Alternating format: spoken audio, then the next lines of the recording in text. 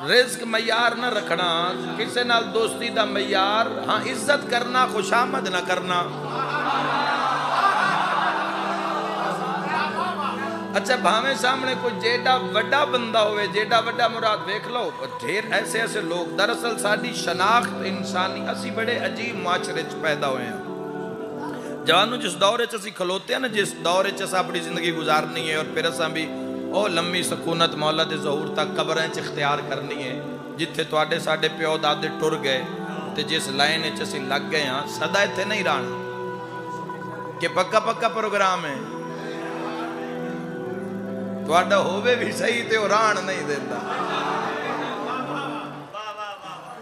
ਤੋ ਇਸ ਜ਼ਿੰਦਗੀ ਵਿੱਚ ਕਮਰਾ ਇਮਤਿਹਾਨ ਵਿੱਚ ਅਸਾਂ ਆਪਣਾ ਆਪਣਾ